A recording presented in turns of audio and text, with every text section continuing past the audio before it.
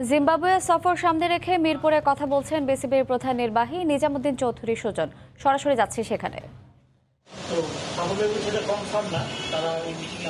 খেলা নেই।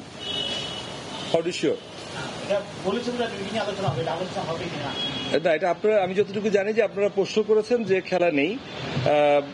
মাননীয় সভাপতি মহোদয় বলেছেন যে যদি না থাকে উনি দেখবেন।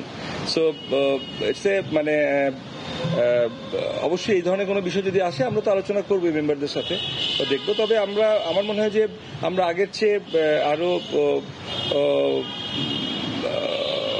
ইম্পর্টেন্স পাচ্ছি এবং হয়তো আমাদের এই আলোচনার পরে বা আমাদের এই যে এফটিপি যেটা আইসিসি ডিক্লেয়ার করবে হয়তো এর এটা রিফ্লেকশনটা আপনারা দেখবেন সেখানে। ঠিক আছে? হ্যাঁ? জিম্বাবুয়ে সফর সামনে রেখে মিরপুরে কথা বলছিলেন বিসিবির প্রধান নির্বাহী নিজামুদ্দিন চৌধুরী সুজন। আমরা এতক্ষণ ছিলাম সেখানে।